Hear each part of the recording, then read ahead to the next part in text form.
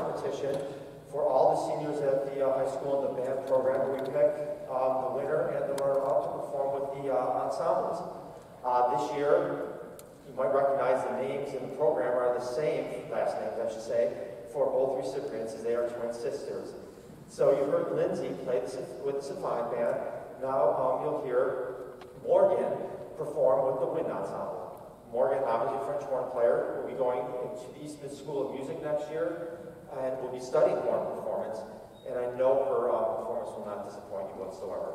So once again, please give a, well, a warm round of applause to Morgan Chalmers.